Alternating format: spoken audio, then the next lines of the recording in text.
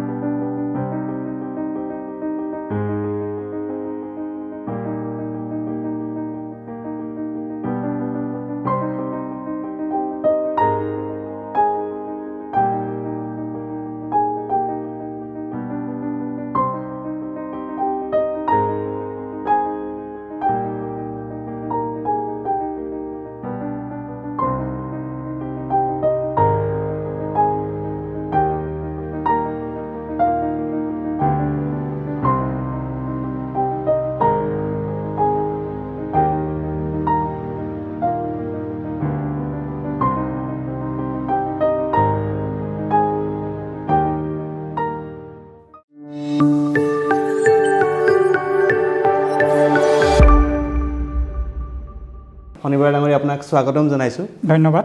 সুজল বৰিষণা সুপুৰুষ কৃষণা সুজল হৈছে বৰষুণৰ পানী আৰু সুপুৰুষ হৈছে কৃষক। উক্ত বাক্যভাগিকে সৰুগত কৰি আপুনি নিৰবিচ্ছিন্নভাৱে তিনিটা দশক ধৰি কৃষিৰ ক্ষেত্ৰত অৰিহণা যোগাই আহিছে। গতিকে আপোনাক আমাৰ এই অনুষ্ঠানটোত পাই আমি সুখী। পোনপ্ৰথমে আপোনাৰ পৰা জানিব বিচাৰিম। আগৰ দিনৰ সকলোৱে আপোনাৰ চৰকাৰী চাকৰিৰ প্ৰতি সকলোৱে ধাৱমান হয়। কিন্তু আপুনি চৰকাৰী চাকৰিমুখী নহয়। কৃষি কৰ্মৰ জৰিয়তে আপোনাৰ নিজৰ জীৱনটো আগবঢ়াই লৈ যাম বুলি ভাবিলে আপুনি কেনেধৰণে এই কৃষি কৰ্মৰ প্ৰতি আগ্ৰহী হ'ল? ধন্যবাদ। আপুনি যি কথা কৈছে সেইটো বৰ্তমান যুগত সত্য। মই যেতিয়া কলেজত পঢ়ি কলেজৰ পৰা ওলাইছিলোঁ তেতিয়া এটা চাকৰি মোৰ শিক্ষাগত অৰ্হতাই যিহেতু মই জে বি কলেজৰ ছায়েন্সৰ হায়াৰ ছেকেণ্ডেৰী পাছ কৰা মানুহ আছিলোঁ তেতিয়া মোৰ কাৰণে খুব সহজ হ'লহেঁতেন। কিন্তু সেই সময়ত মই এটা ইণ্টাৰভিউ দিবলৈ গুৱাহাটীলৈ যাবলৈ মোৰ হাতত তিনিশ টকা নাছিলে ঘৰৰ অৱস্থা বেয়া আৰু সেই টকা পইচা অভাৱৰ খাতিৰতে মই শিক্ষা ডিগ্ৰী ল'ব নোৱাৰিলোঁ আৰু তেতিয়াৰ পৰাই মই কৃষি কৰ্মত নিয়োজিত হ'লোঁ। কিন্তু দুটা বছৰ খেতি কৰাৰ পিছত মই খেতিৰ পৰা যিটো ফচল পালোঁ যিটো ইনকাম পালোঁ সেই ইন ইনকামৰ পৰা মোৰ ভাবিবলৈ মই বাধ্য হ'লোঁ যে আমি কৃষি কৰ্ম কৰিও আমি স্বাৱলম্বী হ'ব পাৰোঁ বা নিজৰ পৰিয়াল পোহপাল দিয়াৰ উপৰিও আনক আমি সুচাৰুৰূপে পথ দৰ্শাব পাৰোঁ। এটা নাঙল আৰু এহাল গৰু লৈ আপুনি কৃষি কৰ্মত নামিছিলে আৰু সেই তেতিয়াৰ পৰা বৰ্তমানলৈকে যি আপোনাৰ তিনি দশক যোৰা যোৰা যাত্ৰা এই যাত্ৰাত আপুনি বিভিন্ন পৰিক্ৰমাৰ মাজেদি বিভিন্ন পৰিৱৰ্তন দেখা পাইছে কৃষি ক্ষেত্ৰখনত। বিশেষকৈ এতিয়া তেতিয়াৰ কৃষি আৰু এতিয়াৰ কৃষিৰ মাজত আকাশ পাতাল পাৰ্থক্য। গতিকে এই যিটো পৰিৱৰ্তনৰ যাত্ৰা এই যাত্ৰাটো আপুনি কেনেধৰণে সমভাগী হৈছিলে? হয় তেতিয়া মোৰ মাটিও বেছি নাছিলে মাত্ৰ তিনি বিঘা দুকঠা মাটিয়ে আছিলে। কেঁকুৰা নাঙল লৈ গৰুহাল লৈ আমি পথাৰলৈ গৈ খেতিত লাগিছিলোঁ। আৰু তেতিয়া দিনত খেতি মানে অকল ধান খেতিটোকে বুজাইছিলে কিন্তু আমাৰ দৈনন্দিন প্ৰয়োজনীয় শাক পাচলি মাছ মাংস ইত্যাদি কথা আমি চিন্তা কৰা নাছিলোঁৱেই আৰু এষাৰ কথা আছিলে অভাৱ অভিযোগ জা জঞ্জালখিনি অতিক্ৰম পাৰিলেই অতিক্ৰম কৰিব পাৰিলে মানুহে সফল লাভ কৰিব পাৰে। গতিকে সেই কথাখিনি সৰুগত কৰি আমি বিভিন্ন অভাৱ অভিযোগ বা বিপদ বিঘিনি অতিক্ৰম কৰি মই কৃষি কৰ্মত অগ্ৰহ হৈছিলোঁ আৰু আজি এই পৰ্যায়ত উপনীত হৈছোঁহি। বৰ্তমান আপুনি জৈৱিক কৃষিৰ ওপৰত গুৰুত্ব দি আছে। জৈৱিক কৃষি আৰু লগতে আপুনি সুসংহত কৃষি পদ্ধতি এই দুয়োটা কৃষি পদ্ধতিৰ ওপৰত বিশেষভাৱে গুৰুত্ব আৰোপ কৰিছে। আপুনি কেতিয়াৰ পৰা সেই জৈৱিক কৃষিৰ প্ৰতি আকৃষ্ট হ'ল বা কেতিয়াৰ পৰা আপুনি মনোনিৱেশ কৰিবলৈ ধৰিলে?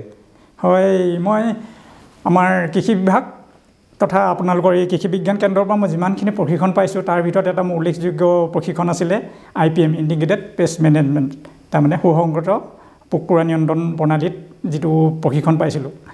আৰু সেইটোৰ পৰাই মই তেতিয়া বুজি পাইছিলোঁ যে আমাৰ ৰাসায়নিক কীটনাশক দ্ৰব্যখিনি আমি খেতিত প্ৰয়োগ কৰাৰ ফলত আমাৰ মানৱ শৰীৰত অপকাৰ কৰিছে কৰিছেই কিন্তু প্ৰকৃতিৰ বায়ু পানী মাটি প্ৰদূষিত হয়। গতিকে তেতিয়াৰ পৰাই মোৰ জৈৱিক কৃষিলৈ মন আগ্ৰহান্বিত হৈছিলোঁ। আৰু লগতে আমাৰ যিখিনি আপুনি ক'লে মিশ্ৰিত কৃষি পাম তেতিয়া মই খেতি কৰোঁতে ধৰক কবি কাটিছোঁ কিন্তু পাতখিনি নষ্ট হৈছে। গতিকে তেতিয়া চিন্তা কৰিলোঁ যে মই গৰু দুজনীমান গাহৰি দুটামান পুহিলেতো মই পাতখিনি মোৰ সৎ ব্যৱহাৰ হ'ব। ঠিক সেইফালৰ পৰা ক'বলৈ হ'লে মই মই কল খেতি আছে মোৰ যথেষ্ট। কলৰ ব্যৱস্থাটো মই এনেকুৱাকৈ কৰিছোঁ। কল থকা মই বিকিলোঁ। গছডাল মোৰ দানালৈ আহিলে। গছডালৰ যিখিনি বুঢ়া বা পেলনীয়া অংশ মই কেঁচু সাৰত দিলোঁ। কেঁচা পাতখিনি মই গৰু বা ছাগলীক দিলোঁ খাবলৈ। শুকান পাতখিনি মই হয় জুই জ্বলাইছোঁ নহয় মালচিং হিচাপে ব্যৱহাৰ কৰিছোঁ। ঠিক তেনেকুৱাৰ পৰা কলজোপাৰ পৰা মোৰ একোৱে লোকচান হোৱা নাই ধৰক। সেই তেনেকুৱাখিনিৰ পৰাই মই মানে এই মিশ্ৰিত কৃষি পামলৈ মই গুচি গ'লোঁ। আৰু আপোনালোকৰ দিহা পৰামৰ্শমতেই মই ফিচাৰী পাৰতে মই গাহৰি গঁৰাল আছে। গাহৰি যিটো পেলনীয়া খাদ্য বা মল সেইটো মই পুখুৰীত দিওঁ। গতিকে মই মাছৰ খাদ্য মোক কিনাৰ পৰা মই ৰেহাই হৈ গৈছোঁ। ঠিক তেনেকৈ এটা পুখুৰীত মোৰ ডাকাৰী আছে। হাঁহৰ হেৰি মলটো খাই মোৰ। মাছ ডাঙৰ হৈছে মই বিশেষ মাছৰ কাৰণে খাদ্য কাৰণে মানে খৰচ কৰিব লগা হোৱা নাই। খুব ভাল এটা কাম আপুনি কৰি আছে। আমাৰ মাননীয় প্ৰধানমন্ত্ৰী ডাঙৰীয়া এটা সপোন আছে। কৃষকৰ আয় দুগুণ কৰিব লাগে। আমি এতিয়া যেনেধৰণে খেতি কৰি আছোঁ এই খেতি পদ্ধতিৰ যে- দ্বাৰা আমাৰ যিটো আয় আছিলে দুগুণ উৎপাদন আপুনি হৈছে বুলি ভাবেনে? সেইটো সকলো কৃষকৰ ক্ষেত্ৰত হোৱা নাই যদিও মই কিন্তু দুগুণটো মই কাহানিবাই পাৰ হৈ গ'লোঁ। আপুনি কৈছে তিনি দশক নহয় মোৰ পাঁচ দশক হ'ল। সত্তৰ চনৰ পৰা মই আজি দুহেজাৰ বিছলৈকে সিফালে ত্ৰিছ বছৰ ইফালে ইফালে 20 বছৰ, 50 পঞ্চাছ বছৰে মই। খেতি কৰি আছোঁ। আৰু সেই ক্ষেত্ৰত কিছুমান কাৰিকৰী কৌশল আমাৰ নিজেও লাগে। এতিয়া মোৰ পথাৰত আপোনালোকে গ'লে দেখিব। মই ইটো খেতি শেষ হোৱাৰ আগতে আন এটা খেতি কৰোঁ। কেতিয়াবা দেখিব মোৰ ভেন্দি গছতে ডাং মাটিমাহ বগাই লাগি আছে। এতিয়া আপুনি সিদিনা যাওঁতে দেখিলে যে আলুৰ মাজত মই আকৌ বিলাহী লগাই দিছোঁ। ঠিক তেনেকুৱাকৈ মাটি বহুত নালাগে। আজি যুগ যিটো আহিছে আপোনাৰ খেতিৰ মাটি কমি গৈছে। গতিকে আমি বঢ়াব লাগিছে উৎপাদনটো। গতিকে কেনেকৈ আমি উৎপাদন দুগুণ কৰোঁ তিনিগুণ কৰোঁ সেইখিনি আমি আপোনালোকৰ পৰা দিহা পৰামৰ্শ বিভিন্ন সময়ত আমি পাই আছোঁ। আৰু সেইখিনিৰ মতে আমি প্ৰকৃত কৃষকৰ হিচাপে কৃষক হিচাপে বিভিন্ন প্ৰশিক্ষণত পোৱা ব্যৱস্থাপনা বা জ্ঞানখিনি মই নিজৰ খেতিপথাৰত ব্যৱহাৰ কৰিছোঁ আৰু সেইমতে সফল পাইছোঁ। লগতে কৃষি নিৰ্দেশাৱলীখিনিৰ ভিতৰত আমাৰ দাস পুৰুষে এইখিনি কথা কৈ থৈ গৈছিলে। সেইখিনি আমি সৰ্বসাধাৰণ কৃষকখিনিয়ে জানিব লাগে। তাত বহুত বহুমূলীয়া বাক্য আছে। মই এই কথাটোকে আপোনাৰ পৰা সুধিব বিচাৰিছিলোঁ। মানে যিখিনি আপোনাৰ পুৰণাকালীয়া আমাৰ কিছুমান পদ্ধতি কিছুমান আছে সেই পদ্ধতিবিলাক আজিকালি প্ৰায় কিছুমান আমি এৰি দিয়া নিচিনা হৈছে। কিন্তু সেই পদ্ধতিবিলাকৰ আপোনাৰ বহুতখিনি উপকাৰী আছিলে। সেই পদ্ধতিসমূহ আমি এৰি দিব নালাগে আৰু বিশেষকৈ আমাৰ যিসকল কৃষক আছে তেওঁলোকে মুখ্য বিজ্ঞানী। তেওঁলোকৰ পথাৰত যিখিনি উদ্ভাৱন হয় সেইখিনি আপুনি কেনেধৰণে আপুনি এতিয়া খেতিৰ ক্ষেত্ৰত ব্যৱহাৰ কৰি আছে। বিশেষকৈ যিখিনি যিসমূহ পদ্ধতি আপুনি নিজে উদ্ভাৱন কৰি উলিয়াইছে তেনেকুৱা ধৰণৰ। বিশেষকৈ মই আপোনাৰ পোক পতংগ নিবাৰণৰ ক্ষেত্ৰত মই সুধিব বিচাৰিছোঁ।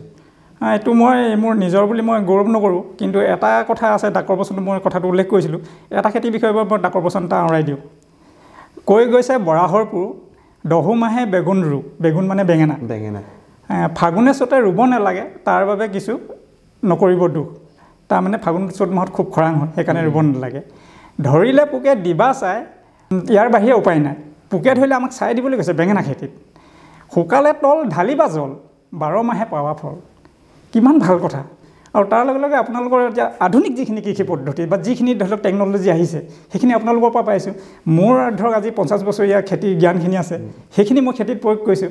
গতিকে মই গোটেইখিনি মিহলাই মেলি সোণত সৰগা চৰা বুলি যে কথা এষাৰ আছে ঠিক তেনেকুৱাকৈ খেতিৰ পৰা মই সম্পূৰ্ণ মানে আহৰণ কৰিব পাৰিছোঁ। আৰু এনেকুৱা এটাও কথা ধৰক খেতি এটা কৰিবলৈ দিলে ধান খেতি ধৰি ল'লোঁ আপোনালোকে ক'লে যে বিছ মোন পাব পালে ভাল হ'ব। বিছ মোন ধৰক টাৰ্গেটটো আছে। যদি মই একৈছ মোনো পাওঁ তেতিয়াও মই এনালাইচিছ কৰোঁ। বিশ্লেষণ কৰি চাওঁ যে আৰু কিবা কুটি নাটি চাই গ'ল নেকি য'ত মই হয়তো তেইছ মোন বা পঁচিছ মোন পাব পাৰিলোহেঁতেন পাব পাৰিলোঁ। কমটি হ'লেতো এইটো পুংখানুপুংখভাৱে আমি হেৰি কৰিম। যিহেতু মই বিজ্ঞানৰ ছাত্ৰ আছিলোঁ। গতিকে পৰ্যবেক্ষণটো আমি মই খুব কৰোঁ। ভাল হ'লেও আৰু ভাল হ'বলৈ কিবা চান্স থাকি গ'ল নেকি? বেয়া হ'লে কিটো কাৰণত বেয়া হ'ল ধৰক? সেইটো মই সম্পূৰ্ণ মানে পৰ্যবেক্ষণ কৰি চাই লওঁ। সুন্দৰভাৱে আপুনি কথাখিনি কৈছে। এইখিনিতে মোৰ আৰু এটা কথা মোৰ মনলৈ আহিছে। আপোনাক সুধিব মন গৈছে। হয়। আপুনি যে ক'লে পঞ্চাছ বছৰ দিন ধৰি খেতি কৰি আছে। তাততো আপোনাৰ বিভিন্ন ঘাট প্ৰতিঘাতৰ মাজেৰে গৈছে। কিন্তু আমি যেতিয়া কৃষক এজনৰ কথা কওঁ সদায় তেওঁৰ ঘাট প্ৰতিঘাতখিনি কথাই কওঁ। কিন্তু তাৰ মাজতো এজন কৃষকৰ যিখিনি তেওঁৰ মনৰ উদ্যম। উদ্যমখিনি বৃদ্ধি কৰিব বিভিন্ন ধৰণৰ আপোনাৰ খুহুতীয়া কাৰ্য কিছুমান সম্পন্ন হৈ থাকে আপোনাৰ মোক অকণমান সুধিব মন গৈছে তেনেকুৱা কিবা খুহুতীয়া কথা আপোনাৰ মনত পৰিছে নেকি এতিয়া যে ঠিক এটা কথা মোৰ মনত পৰিছে মোৰ নিজৰে হাঁহি উঠে মোৰ বাৰীলৈ বিভিন্ন মানুহজন মানুহ দুই চাৰিজন যায় কিবা পুলি বিচাৰিয়ে হওক বা কিবা এটা বস্তু বিচাৰিয়ে হওক। ঠিক তেনেকুৱাকৈ মই আজিৰ পৰা ঠিক পোন্ধৰ বছৰমানৰ আগৰ ঘটনা দেই। সেইদিনা মই গাহৰি দানা দিবলৈ হৈছে লগত দুজন ওলালেগৈ মোৰ লগৰ। তেওঁলোকৰ লগত বহোঁতে মোৰ মানে অন্ততঃ চাহ তাহ খাওঁতে দহ পোন্ধৰ মিনিট দেৰি হ'ল। তাৰপৰা বাৰীখন চাওঁগৈ বুলি মোৰ লগতে ওলালে।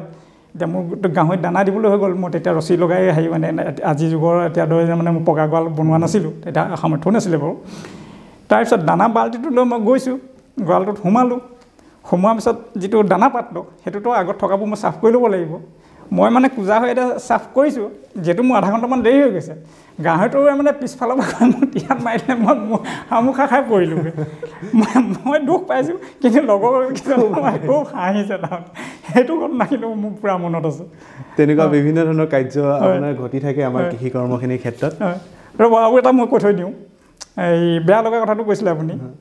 এই যে যেতিয়া হাই ছেকেণ্ডেৰী বা high school S S L C পৰীক্ষাৰ ৰিজাল্টখিনি দিলে এশজন হয়তো টপাৰ টপ হাইষ্ট মাৰ্ক পোৱা ছাত্ৰ ছাত্ৰী নিৰ্বাচন কৰিলে। তেওঁলোকক সোধা হয় যে জীৱনৰ উদ্দেশ্য কি বা ভৱিষ্যতে কি হ'বলৈ ইচ্ছা কৰা। বিভিন্নজনে কোনোবাই ইঞ্জিনিয়াৰ কোনোবাই পাইলট কোনোবাই কৃষি বিজ্ঞানী বিভিন্ন ডাঙৰ ডাঙৰ ডাক্তৰ হোৱাৰ পৰা ইত্যাদি কথাখিনি কয়। কিন্তু কোনো এজনে নকয় যে মই এজন কৃষক হ'ম বুলি। বুলি। সেইডোখৰ শুনিলে সেই বাক্যটো শুনিলে মানে আমাৰ অলপ বেয়া লাগে। মানুহ সেৱা কৰিবৰ কাৰণে মানৱ সেৱা মন এটা লাগিব। লাগিব। দেৱকান্ত বৰুৱাৰ কবিতা এফাকেই মনত পৰিছে এতিয়া মোৰ। কবিতাটোৰ নাম আছিলে কৃষক। জীৱন নাৱৰ গুৰি বঠা ধৰি তুমি সমাজক ৰাখিছা জীয়াই। গতিকে সমাজখন যদি জীয়াই থাকিবলৈ হয় খেতিয়ক লাগিব। খেত বস্ত্ৰ উদ্যোগ হ'ল মানে বিভিন্ন ধৰি লওক মৰাপাটৰ কল উদ্যোগ হ'ল। কিন্তু সেই মৰাপাটৰ উদ্যোগ বা বস্ত্ৰ উদ্যোগ বা বিভিন্ন উদ্যোগৰ বস্তুখিনি খাই আমাৰ মানুহ জীয়াই থাকিব নোৱাৰে। খেতিয়কে খেতি কৰা উৎপাদনৰ শস্য খাই বা ফচল খাইহে মানুহ জীয়াই থাকিব লাগিব। গতিকে মানুহ যদি জীয়াই থাকিবলৈ হয় তেতিয়া আমাক খেতিয়ক লাগিব। ইয়াৰ উপৰি আপুনি যেতিয়া বিভিন্ন ধৰণৰ ৰাষ্ট্ৰীয় পুৰস্কাৰসমূহ ল'ব যায় যেতিয়া বা ৰাষ্ট্ৰীয় পুৰস্কাৰসমূহ আপোনালোকে পাইছে বা সেই মঞ্চখনত যেতিয়া আপুনি থিয় হৈ থাকে আপোনাৰ অনুভৱবিলাক কেনেকুৱা ধৰণৰ হয়? পুৰস্কাৰবিলাক বুলি কওঁতে অলপ বেছি কোৱা হৈছে। মই ৰাষ্ট্ৰীয় পৰ্যায়ত দুটাই দুবাৰ পাইছোঁ। আৰু মোৰ আমাৰ ৰাজ্যিক পৰ্যায়ত বাৰু কেইবাৰমান পালোঁ। সম্বৰ্ধনা পাইছোঁ বা কিবা কিবি পাইছোঁ। তাত যেতিয়া ধৰক আগৰ পৰা আছিলে নৰেন্দ্ৰ সিং টোমৰ তেখেতে মোক যেনিবা সম্বৰ্ধনা মোকে নহয় আমাৰ অসমৰ পৰা যোৱা যিমানকেইজন আছিলে। অসমৰ পৰা মই আছিলোঁ ধৰক। তেতিয়া এটাই অনুভৱ হয় যে মই যিটো সেইটো সন্মান পাইছোঁ হয়তো চাকৰিয়ালখিনিয়ে পোৱা নাই মোৰ লগতো সাতজনে আমি একেলগে কলেজত পঢ়িছিলোঁ ছজনে চাকৰি কৰে মই খেতিয়ক খেতি হিচাপে মই ৰাষ্ট্ৰীয় পৰ্যায়ত যিখিনি পাইছোঁ মই ধৰক নৰেন্দ্ৰ মোদীৰ লগতো আপোনাক কৈছোঁ যে হেণ্ডশ্বেক কৰিছে মোৰ লগত।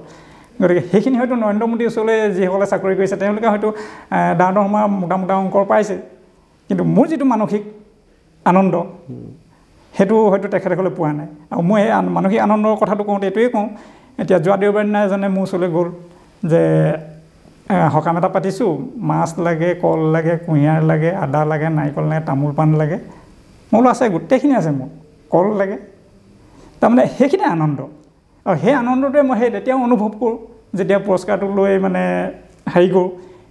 পুৰস্কাৰটোত খুব ডাঙৰ কথা নহয় কিন্তু আনন্দ মানসিক যিটো শান্তি সেইটো। খেতি কৰি আমি মানসিক শান্তিটো মই পাইছোঁ কিন্তু সেইটোৱে মোৰ প্ৰধান মানে মূলধন বুলি ক'ব পাৰোঁ। বৰা ডাঙৰীয়া। আপোনাৰ লগত আৰু বহুত কথা পাতিব লগা আছিলে। হয়তো কথা পাতি থাকিলে শেষেই নহ'ব। কিন্তু আমাৰ সময়ো যথেষ্ট কম। গতিকে আজি আমাৰ মাজলৈ আপুনি আহিলে। আপোনাক আমি ধন্যবাদ জনাইছোঁ। আমাৰ মাজলৈ আহি আপোনাৰ মনোভাৱখিনি ব্যক্ত কৰিলেহি বা আমাৰ যিসকল কৃষক আছে উঠি অহা বিশেষকৈ যুৱ প্ৰজন্মক আপোনাৰ কৃষিৰ প্ৰতি ধাৱবান হ'বৰ বাবে কিছু পৰামৰ্শ বা উদগনি জনালে তাৰ বাবে আপোনাক আমি ধন্যবাদ জনাইছোঁ। দৰ্শকসকল পুনৰ এটা অনুষ্ঠানলৈ আমি আপোনালোকৰ মাজলৈ আহিম। এজন নতুন কৃষকক আমাৰ অনুষ্ঠানলৈ আমন্ত্ৰণ কৰি আনিম। আপোনালোকে তেতিয়ালৈকে আমাৰ অনুষ্ঠানটো চাই থাকিব। ধন্যবাদ।